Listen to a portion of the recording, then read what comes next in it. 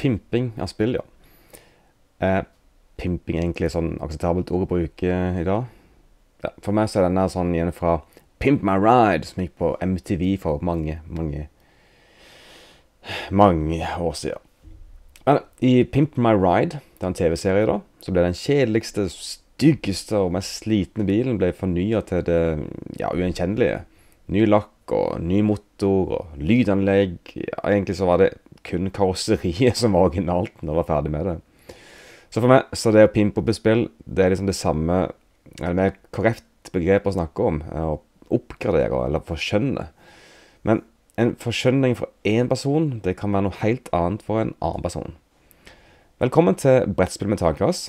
Dette her er en serie hvor det skal snakkes om brettspill og kortspill og alt hva det enn innebærer. Denne gangen så er det altså oppgradering av spill som står på menyen. Men ja, hva er egentlig en oppgradering?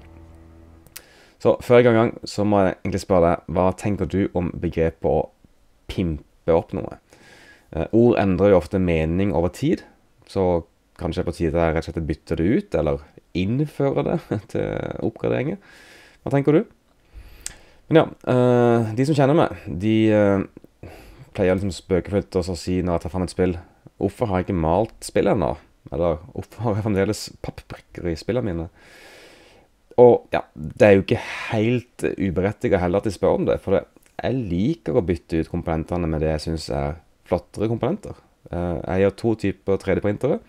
En for større ting, hvor detaljene ikke er spesielt viktige. Og en for mer eh, krevende spill, da. Eh, så eksempel på min oppgradering kan være spillet Root. Se, nå ble det feil her. Jeg må bare fikse det i min sånn. Root, og så der. Root. Det er ja, Spillet i seg sjøl det kommer egentlig veldig kule trefigurer som representerer disse forskjellige krigerne du ser her. Uh, forskjellige typer dyr. Men så var det jo en, en nederlender da, som designa noen skikkelig kule 3D-figurer eh, som du kunne printe sjøl. Og han var så snill at han bare ga ut modellene gratis. Så alle som ville, kan bare laste ned og printe ut sjøl, hvis du har tilgang til en 3D-printer. Og det gjorde jeg jo. Men jeg tok det kanskje til litt ekstremt. Uh, jeg printa ikke bare ut én av hver figur og malte de og satte de på liksom, display. Nei, nei. Alle kattefigurene ble erstatta med 3D-figurer. Alle fuglene, alle beverne, alle øglene Ja, alt sammen ble egentlig erstatta med 3D-modeller. Og det stoppa jo ikke der. Det måtte jo selvfølgelig males. Det samme gjelder jo sånn pappbrikker som representerer bygning og sånt nå. Vekk med de, og inn med 3D. Og male. Så jeg kommer til å legge inn en lenke nå i beskrivelsen av videoen her til eh, en sånn Vågengi-tråd jeg har. Eh, og der kan du egentlig se et innlegg som jeg har lagd, med masse bilder fra min versjon av Root. Så det ser jo kjempegøy ut. Jeg er veldig stolt av det jeg har gjort. Men det kommer med en stor ulempe. For det første, hvis det kommer enda en utvidelse nå, med nye figurer, så har jeg ikke 3D-figurene klare til å printe ut i.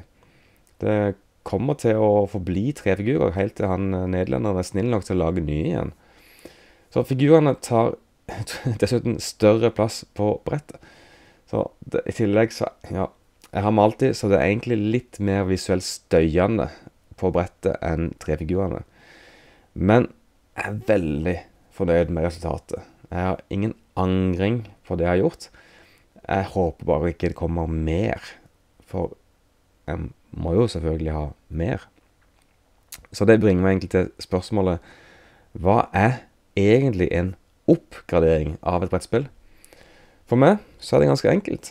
Hvis den nevnte pappbrikken eller kuben som representerer noe spesifikt, kan erstattes med noe, så kommer jeg til å 3D-printe det ut og få en ordentlig representasjon istedenfor den pappbrikka. Så for meg så er det en oppgradering. Et annet eksempel det er June Imperium. Det er et spill som uh, da nytter seg grafikken i likhet med filmen som nylig kom ut. Uh, og hver spiller skal da kjempe om innflytelse, ære og ressurser på den uh, ørkenplaneten bak meg her, den Arrakis. Spillet er utrolig bra, men jeg sovner nesten bare av å se på det. Det er skikkelig kjedelig eh, grafikk på det. Soldatene er kuber. Agentene er noen tre figurer med en, en slags vag form av en person. Eh, laugene som du har innflytelse med, de er bare en pappbrikke. Startspillerbrikken er bare en rund pappbrikke. Det ser bare kjedelig ut. Så funksjonelt så gjør jo alt jobben sin. Jeg bare sovner og ser se på det. det. det. har så mye forbedringspotensial rent visuelt sett for meg, da. Så jeg, jeg bytta ut kubene med soldatminiatyrer fra Risk Legacy. 3D-printa figurer som skal være agentene. Og der fikk jeg bl.a. hjelp av Stian fra Grimfing Gabes for å få en sånn perfekt mentatfigur og ha Conan-figurer. Uh, sånn side note, da. Uh, Grimfield Games akkurat nå i Grimstad denne helga her, uh, 25.-28. mai, så er det Grimcon i Grimstad. Det er liksom det aller første brettspilleventet som skjer i Grimstad. Sikkert årlig hvis det blir bra, så det kan absolutt være verdt å sjekke ut. Veldig kort varsel, men hvis du er i nærheten, sjekk det ut. Eh, bare google det eller sjekk på Facebook, så finner du det. Jeg kan sikkert legge til en link i beskrivelsen også, hvis jeg husker det. Eh, hvis ikke, så kan du skrive en kommentar. Husk å skrive en link til Grimcon. Men ja, eh, så har det vært 3D-printa figurer til agentene. Jeg har 3D-printa startmarkør. Jeg har 3D-printa altså disse laugbrikkene. Jeg har 3D-printa kryddersekker, mynter og vann. Det er liksom så mye å oppgradere. Og for å skryte litt, jeg er veldig fornøyd. Jeg fikk jo faktisk oppgradert min versjon av Dune Imperium før den offisielle oppgraderingspakka kom ut. Men så er det den andre siden av den typen oppgraderinger, da. Eh, for med min Alien Frontiers, det, det malte for lenge, lenge siden, så fant jeg ut at når jeg hadde malt det, så gjorde det vanskeligere å skille fargene fra hverandre. Det var litt for mye detaljer, og det var litt for lite som indikerte hvilken brikke som tilhørte hvilken spiller. Eh, og da tenker jeg egentlig på å spille War of the Ring. Eh, der skal den onde siden kjempe mot den gode, da. Og hendelsene i spillet det tar sted akkurat som i Ringenes herre-bøkene. Eh, med utgangspunkt i at eh, Frodo allerede har ankommet Kløvendal og skal reise derfra. Så fellesskapet har starta, og der starter spillet også. Men altså, i War of Ring så har du en drøss med miniatyrer. Men spillet sånn som det kommer, har en skikkelig stor svakhet. Det er rent visuelt vanskelig å skille troppene fra hverandre. Og det er viktig også. For eksempel den hesten. Er det en alvetropp eller en folk fra nord? Begge er blå. Begge sitter på en hest. Begge har spyd. Den ene har spydet litt vendt framover, hvis du bare ser på det. Men når du kikker nærmere, da, så ser du forskjell på dem. Men problemet er at du skal ha et sånt overblikk på avstand. Da er det ikke så lett å se forskjellen, altså. Så jeg valgte å male alt sammen. Eh, med farger som viser tydelig hvilken nasjon de hører til. Eh, og selv da kan det faktisk være litt eh, til forveksling. Og det er et stort problem for akkurat War of Ring. Eh, men heldigvis så kan du printe ut eller kjøpe små markører som du kan bare sette under figurene. Så for meg så var oppgraderingen til War of the Ring det var å male de, med detaljer. Men War of the Ring har flere problemer enn bare miniatyrene. Eh, det er ofte ikke fysisk plass til figurene på det kartområdet de skal stå i. Så derfor så har andre valgt å oppgradere spillet på en annen måte. I stedet for miniatyrer kuber. Altså motsatt av det jeg pleier å gjøre.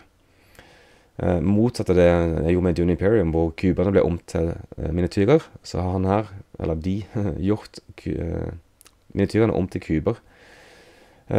Så kuber med forskjellige farger, riktignok, så det er enkelt å se forskjell på troppene.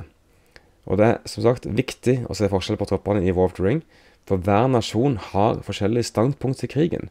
Noen kan gå inn i fremmede sine nasjoner og starte en krig. Andre kan ikke. Så hvis du blander disse her og skal gå sammen, så kan du ikke gå med alle sammen. fordi det er ikke alle noen som er helt enige her. Eh, en del av kompleksiteten i Warp Ring som jeg liker, men også det som gjør det veldig vanskelig med tanke på figurene og fagene er helt like. Så i dette tilfellet her så er oppgraderingen gjort, altså det å bytte miniatyrer med kuber, da er oppgraderingen å gjøre det mer praktisk og lett kunne se forskjell, og samtidig ta mindre plass på kartet, så du kan få plass til alle disse brikkene på samme kartområde. For meg, derimot, så jeg skjønner hvorfor, men det høres bare Nei, så kjedelig ut. Jeg, jeg trenger ting på brettet. Jeg elsker tematiske spill som også ser visuelt veldig fengende ut. Så det holder med. Jeg går gjerne for miniatyrer i spill. Ja, hvis det er behov for det, eller hvis det har en funksjon, på en måte. Men hva tenker du da på oppgradering av spill? Eh, mindre grafikk og mer tydelighet, eller bare pøse på med grafikk og miniatyrer? Hva med komponentene? sånn Pappbrikker med ikoner, eller figurer som representerer det samme? Eller en miks, kanskje? Hva mener du? Gjerne skriv en kommentar. Men ja, eh, ikke alle har eh, en 3D-printer eller tilgang til en. Men jeg kan egentlig vedde på at du vet om noen som har. Kanskje ikke du vet at de har det, men jeg tipper du kjenner noen som faktisk har det, men bare ikke vet om det. Hm, det blir rart. Men ja, eh, det kan til og med være at biblioteket har en 3D-printer som du kan låne. Du må bare spørre. Det er ikke alle som på en måte annonserer det. Men spør du, så kan det være at de har det, eller til og med kan ta det inn. For det, det er jo en nyttig funksjon å ha. Uansett så har det vært et hav av ressurser å printe ut ting på egen hånd. Eh, enten det er miniatyrer eller inserts, eller ja, det å ha eh, ting til spillerne sine i eskene. Eh, så før i tida så hadde en stor ressurs, og det var nettsiden eh, Thingiverse. Eh, det var liksom det største stedet på nettet da, for å finne og laste ned gratis ting for printing.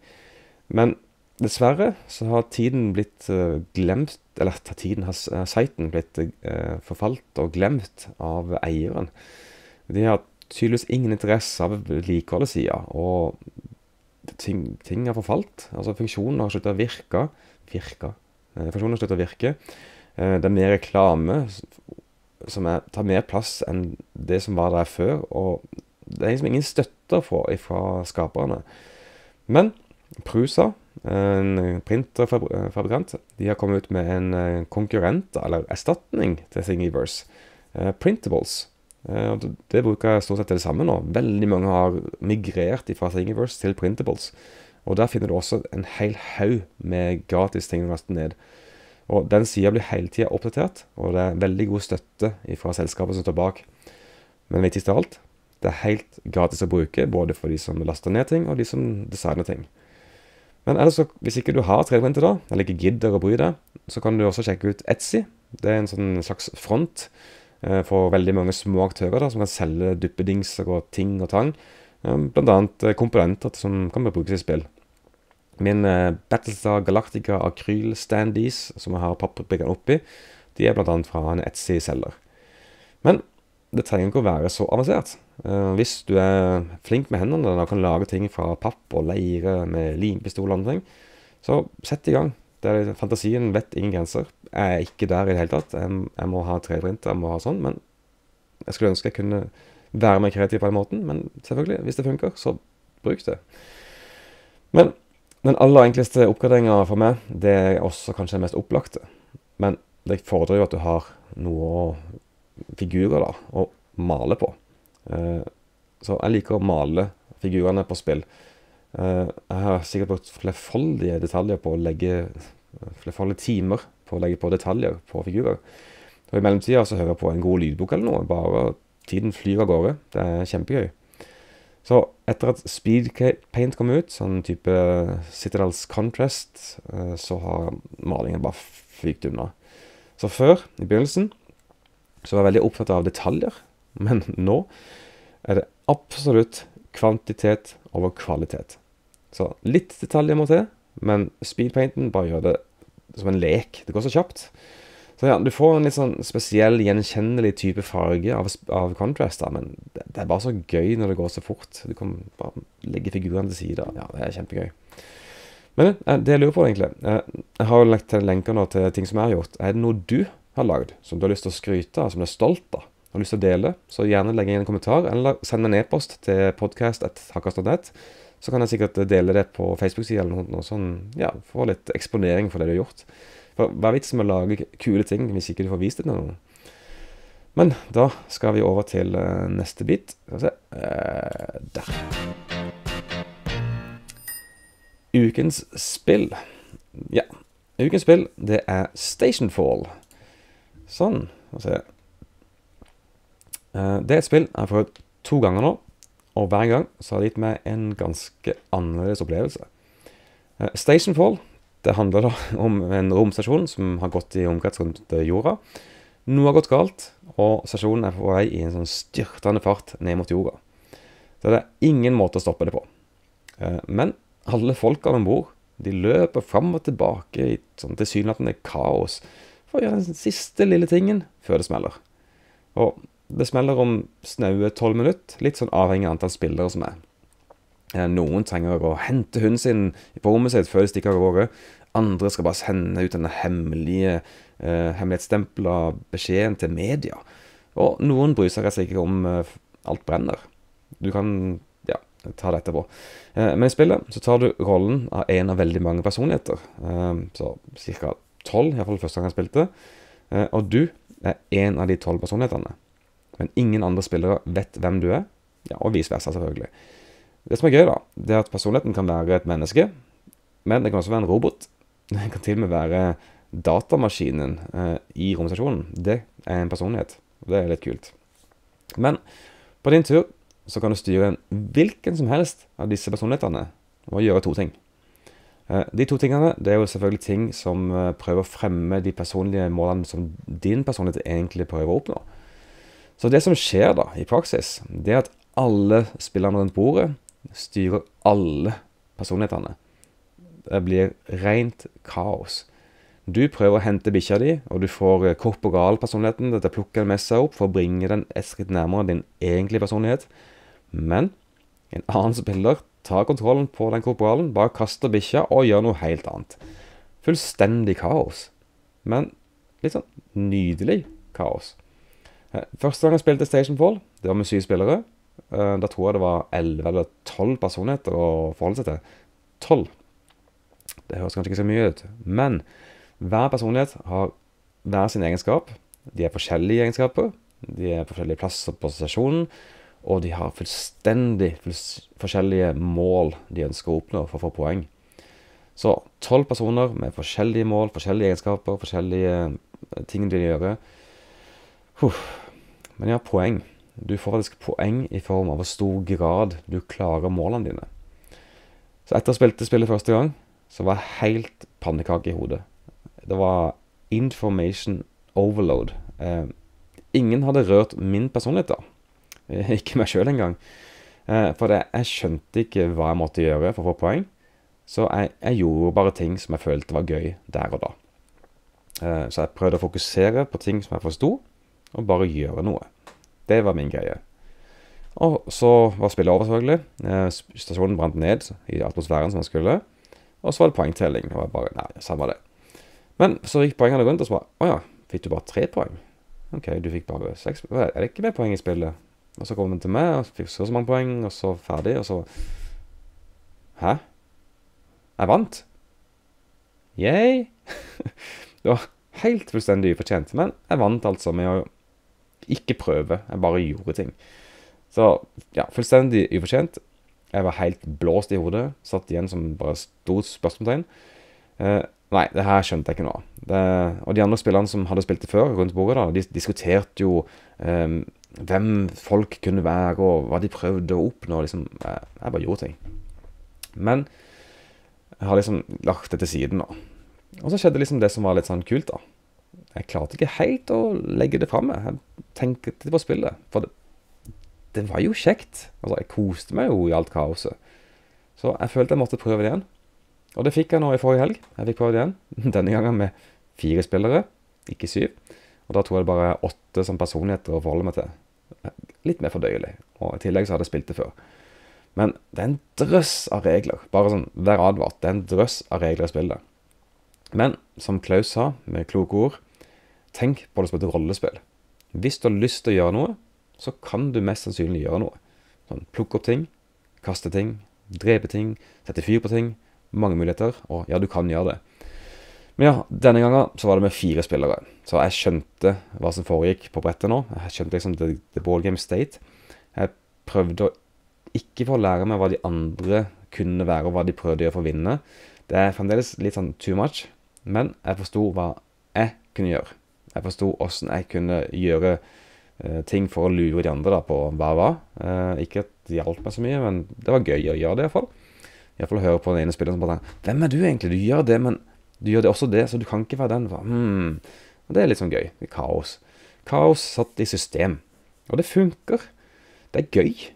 Det er en sånn slags dans som du ikke helt klarer å, skjønne bevegelsene til. Men du skjønner at det er en dans der, men ikke hva slags dans. Men Stationfall det er sånn type spill som jeg ikke kan anmelde helt ennå. For det, det er et spill jeg vet jeg liker. Men jeg kan ikke helt si det fordi det spillet er bra, eller bare fordi jeg koser med kaoset og de sære situasjonene som oppstår på stasjonen. Så ja, men derfor er det fint med sånn ukens spill. Jeg kan bare snakke om et spill uten å gi det en ordentlig anmeldelse. Men hvis du skal prøve dette spillet for første gang, prøv å ikke være flere enn fire spillere. Det er rett og slett information overload. Det er for mye. Men ja, jeg anbefaler deg å teste dette her ut. Eh, hvis du liker type spill som eh, Nemesis da, og Battles of Galactica, med litt sånn eh, skjulte roller og forræderi og litt sånn, så jeg tror Station Fall kan falle godt i smak. Men ja, tusen takk for at du så på eller hørte på denne episoden, som er tilgjengelig først og fremst på YouTube, så gjerne kommenter under her. Men du finner den også på Apple Podcast og Google Podcast og Spotify. Så ellers kan du ta, ta kontakt på podcast etter takast.nett for eh, andre innspill eller ønsker. Eh, og jeg hører gjerne ønsker om ting du har lyst til å ta, igjen, ta opp i, av temaer, eller ting du ønsker å høre ifra meg eh, i kommentarene på YouTube. Så skal jeg lese det, og ja, det kan godt være at jeg blir med. For eksempel så har jeg jo lagt med den her eh, spill fra samlinga mi. Eh, neste episode, kanskje. Ta neste del. Men som vanlig, Husk å trykke på 'liker' og 'abonner', og gjerne legge inn en eh, anmeldelse på Apple, Google og Spotify og sånt, hvis det er mulig, eh, hvor enn du hører podkast. OK, ha det bra, og vel spilt. Vi snakkes.